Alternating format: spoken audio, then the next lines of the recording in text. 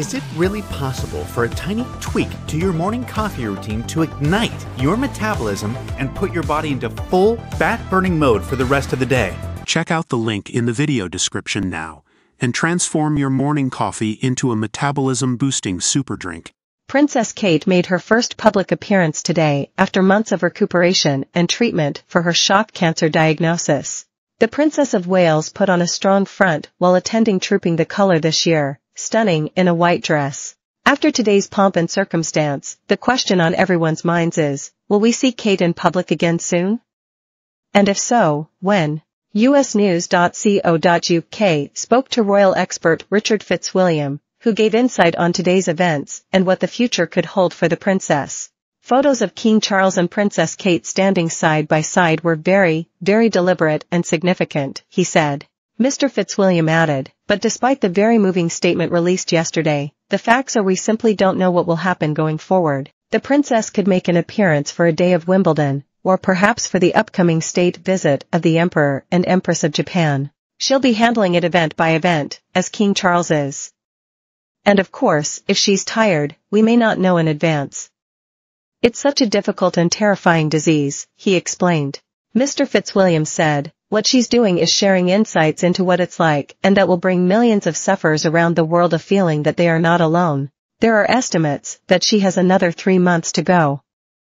I don't know whether that's true or not, but I was listening to an expert on the BBC about it, we know there is more to go. We know she's not out of the woods yet. The Princess of Wales's daughter appeared to have taken a hand in assisting her mother today. Mr. Fitzwilliam said of this, her children are getting older. And obviously it has been a burden for William and Catherine to try and convey what's happening without causing too much concern. I think that's been a huge challenge, and I think that was obvious because of what she said in the video message. It's hard to say exactly how she'll plan her events. But the children were all well behaved today, Louis was pretty restrained. We'll see a certain amount of the children again. But they're very protective and they rightly should be.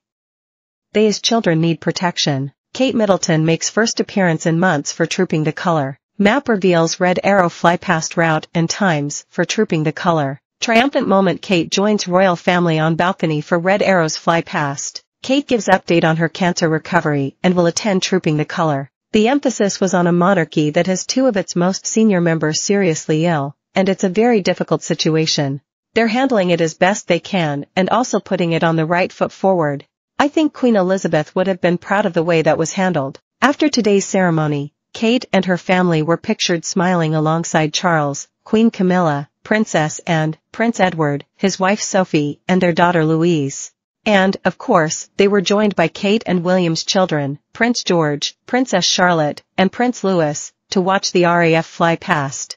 Get in touch with our news team by emailing us at webnews at metro.co.uk. For more stories like this, check our news page. More, Kate's support included one key royal family member at Trooping the Colour. More, Kate and Charlotte share tender moment in behind-the-scenes Trooping the Colour video. More, all the times Prince Louis has stolen the show after yawning at Trooping the Colour. Privacy policy.